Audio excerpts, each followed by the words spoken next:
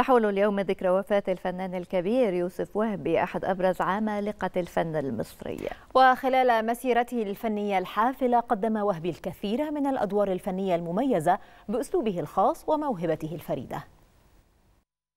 عمل بجد للنهوض بفن التمثيل في سبيل الارتفاع بمستوى المجتمع وأعطى الكثير للفن في كل مجالاته من تمثيل وتأليف وإنتاج وإخراج مسرحي وسينمائي.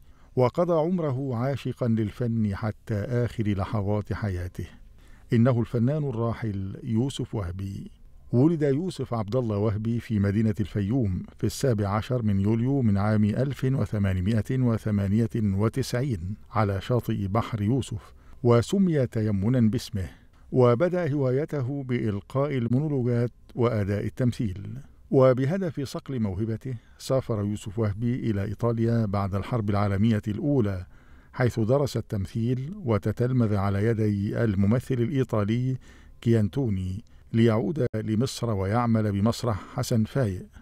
ثم أسس مسرح وشركة رمسيس للإنتاج السينمائي وتولى إدارة فرقة المسرح العربي عندما كان يطلق عليها اسم الفرقة المصرية للتمثيل والموسيقى وألف العديد من المسرحيات وأخرجها ومنها كرسي الاعتراف أولاد الفقراء وفي السينما كتب سيناريوهات أفلامه وأخرجها ومن أبرز أعماله البؤساء حبيب الروح إشاعة حب. نال الفنان الراحل يوسف وهبي وسام الاستحقاق من الطبقة الأولى عام 1960 وجائزة الدولة التقديرية في عام 1970 وانتخب نقيبا للممثلين في عام 1953 كما حاز على جائزة الدولة التقديرية والدكتوراه الفخرية في عام 1975 من الرئيس الراحل أنور السادات.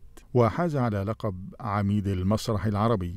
لعب يوسف وهبي الكثير من الأدوار الفنية بأسلوب خاص ومميز. لم يستطع أي من الممثلين مواكبته فيها. فنبرة صوته المميزة وأداؤه المسرحي الواضح خلق له منطقة خاصة به يتذكرها الجمهور بمجرد ذكر اسمه حتى يومنا هذا. وفي مثل هذا اليوم السابع عشر من أكتوبر من عام 1982 رحل يوسف وهبي عن عالمنا تاركا خلفه إرثا فنيا لا يعوض.